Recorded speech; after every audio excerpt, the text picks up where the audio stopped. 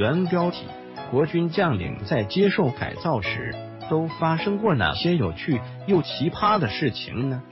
国军将领被俘后，在接受改造时都发生过哪些有趣又奇葩的事情呢？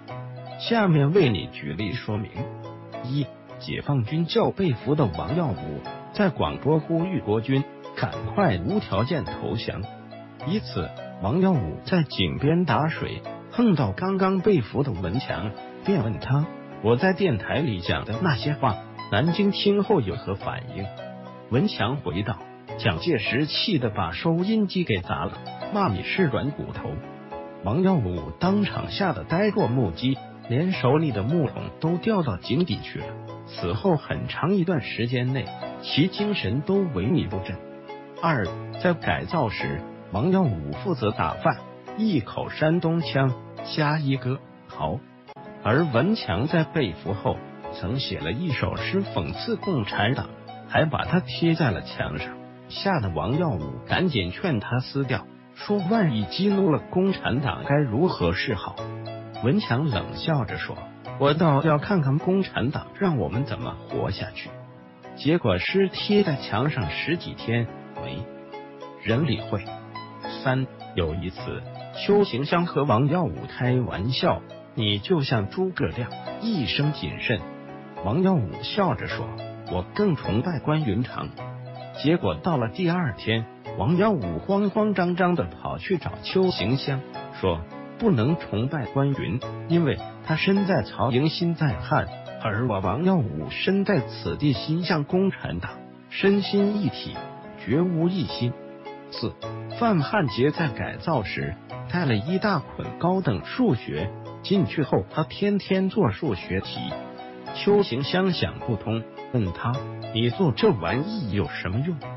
范汉杰说：“现在不学习，以后吃什么？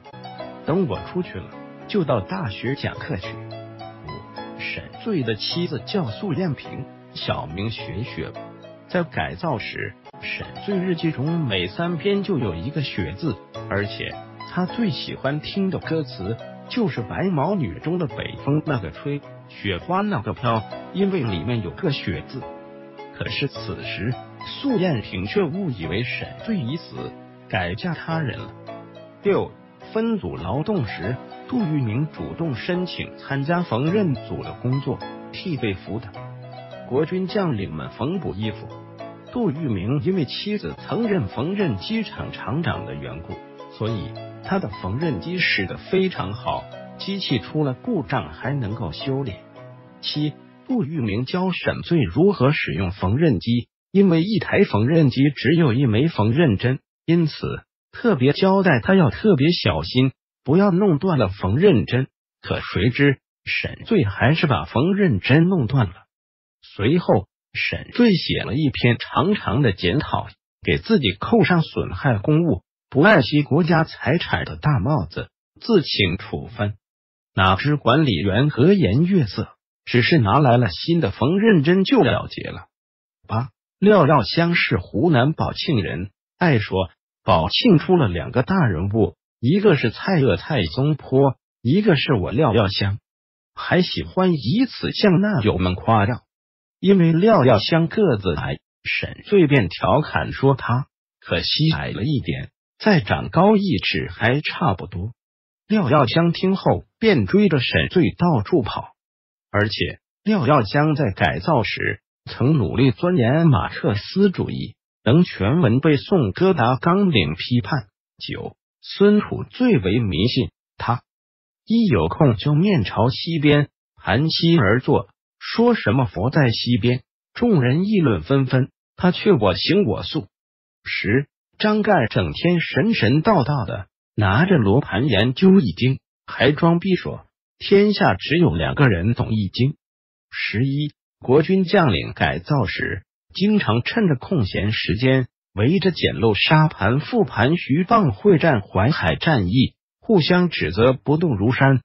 十二，郑廷吉负责安排被俘的国军将领洗澡，因为他是海南人，说话时。喜和死分不清，每次洗澡前，他喊：“第一组先死，第二组后死。”而国军将领则一起喊：“我们不想死，还是你死吧！”郑急的大喊：“让你们死，你们就死，不死拉倒！”